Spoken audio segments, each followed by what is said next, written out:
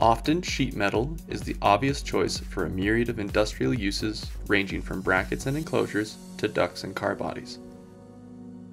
An important element of sheet metal design is the ability to virtually reverse the manufacturing process to unfold CAD parts and lay the original sheet metal flat. Afterwards, features can be removed and the exact size of the sheet metal blank can be determined and optimally nested within standard sheets for automatic cutting. The entire sheet metal design workflow, from automatic detection of bends and unbending to defeaturing and determination of blank size, can be implemented into any CAD or CAM software application with Spatial's CGM Modeler. Consider, for example, the sheet metal housing of a desktop computer. The housing contains various holes and other cutouts for electrical connections, access, and cooling. CGM Modeler begins the process of unbending and defeaturing the housing by automatically detecting cylindrical bends in the model. This functionality is new in this year's SP1 release. Various options control the bend detection process to provide the application utmost flexibility. All of the bends of the computer housing have been quickly detected and are highlighted in yellow.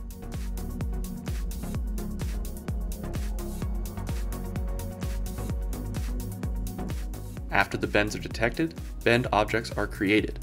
As a result, the application can interrogate each bend for its geometric properties, including type, both cylindrical or conical, minimum and maximum bend radii, and bend angles. After the bends are detected by CGM Modeler, the housing is ready to be unfolded. Additional functionality in CGM Modeler, in the form of an unbend operator, sequentially unfolds each detected bend, Several optional parameters in the operator control the unbend process. After the computer housing has been unfolded, CGM Modeler removes holes and other cutouts to obtain the original sheet metal blank. The process of removing such features follows a similar process to unbending. First, the holes and cutouts are detected by feature detection functionality embedded in CGM Modeler. Then the holes and cutouts are removed sequentially leaving just the external perimeter of the original unfolded housing. For example, all of the holes are detected and highlighted.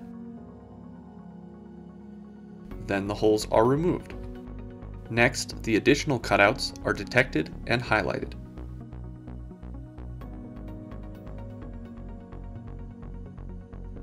Then the cutouts are also removed.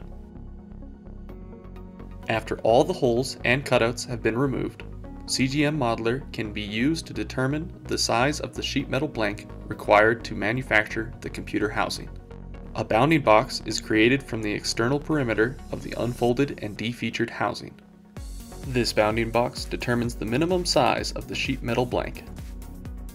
After the size of the blank is determined, then the application can orient and nest this and other unfolded or defeatured designs onto standard sheet metal rolls for automated cutting. In this example for a sheet metal part, CGM Modeler handles the entire workflow of recognizing bends, unbending, detecting features like holes and other cutouts, removing these features, and determining the size of the sheet metal blank required to make the housing. Visit our website today for more details on how CGM Modeler can automate your sheet metal manufacturing workflows.